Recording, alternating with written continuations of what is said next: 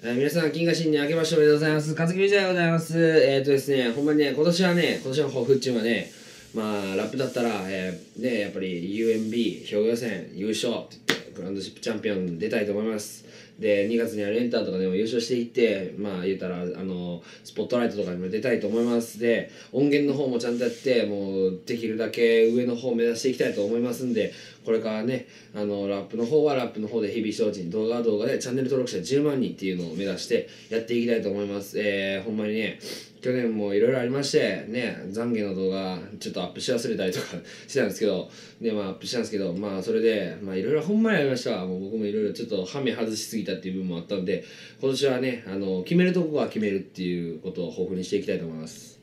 えー、なんていうかね、あプラス運上昇運かな、え、昇運上昇流か。あの、まあ、雲を突き抜ける竜のごとく、まあ、チャンスをつかんで世に出るっていうことわざかな？い四字四文字熟語かな？なんですけどあのーもうほんまにねまあちょっと知ってるちょっと知ってるにわかの情報なんですけど 合ってるかなこれ意味。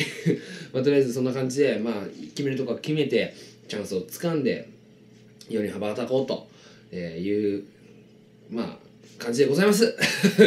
もうほんまにねちょっとね眠眠かったりお腹空いてたりとかしてねあの頭が回ってないです。でまあとりあえずほんまにねもうほんまいろいろあったんで羽目を外さないように決めるとこは決める。バシッと決めていくと。いうわけです。で今日ねあのちょっとちょいちょいとしたご用で京都にいました、えー年越し。でそれでまああの地下鉄乗ったわけなんですよね。1月1日。で地下鉄乗った時にあのがとある外国人に話しかけられました「Excuse me, where is 嵐島屋?」って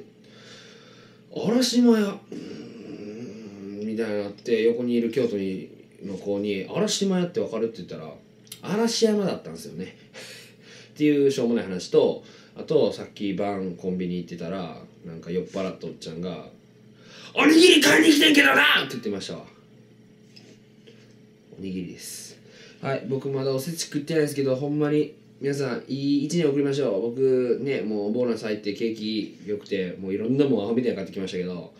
もう今日だけでねもう何万ちゅう金を使ってきました。もうでねもうひふみやの福袋も買いましたしパーカーも買いましたしこの DGK のキャップも買いましたし、まあ、これはちょっともらったんですけどまあねもうほんまにいろんなもん買っててほんまにもう景気いいっすわ幸先いいっすわ。2014年みんなも幸先いいねスタートを決めましょう。2014年えー、ほんまにね